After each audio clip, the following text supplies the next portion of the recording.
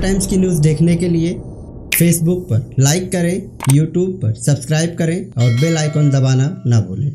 मैं इस्लामुद्दीन खान और आप देख रहे हैं प्रहार टाइम्स मुमरा के संजय नगर गाँव देवी का रहने वाला राहुल जगतपाल यादव उम्र 14 साल।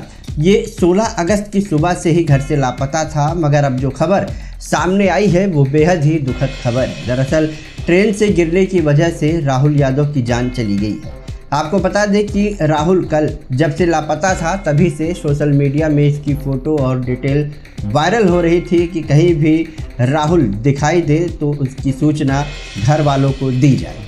क्योंकि राहुल मंद बुद्धि का भी था और परिवार के लोग पुलिस में भी गुमशुदगी की शिकायत दर्ज करा चुके थे और खुद भी राहुल यादव की तलाश कर रहे थे।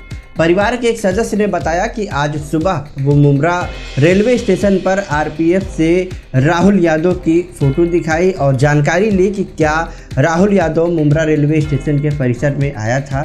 जिसके बाद रेलवे पुलिस ने बताया कि कल दोपहर में एक लड़का लोकल ट्रेन से करीब 12 बजे के आसपास नूतन के बंगले के पास में गिरा हुआ था और राहुल के परिवार के द्वारा जो फ़ोटो लाई गई थी, जब रेलवे पुलिस ने इन दोनों तस्वीरों को मैच किया तो ये जानकारी सामने आई कि ये तस्वीर राहुल की है। राहुल ही ट्रेन से गिरा है। मगर सवाल उठता है कि राहुल आखिर रेलवे स्टेशन पर पहुँचा कैसे कैसे वो ट्रेन पर बैठा और कैसे चलती ट्रेन से गिर गया? बहरहाल ये जाँच का विषय है।